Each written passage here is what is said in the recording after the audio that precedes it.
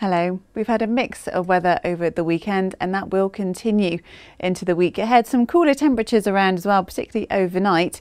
For this evening, cloud and showers will clear for some clearer skies for a time.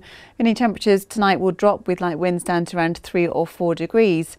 Tomorrow, some brightness and some sunshine. There will be some cloud in places and then everywhere turns cloudier through Monday as this little system of heavy showery rain moves in, producing some wet weather still towards tomorrow evening and everywhere cloudy through tomorrow afternoon, highs of up to 11 or 12 degrees. Now Monday night that cloud and rain clears and under clearer skies it will be quite cold. Temperatures locally could get down to freezing. So Tuesday morning will be cold but bright with some sunshine, cloudier on Wednesday, then more unsettled but turning milder from Thursday.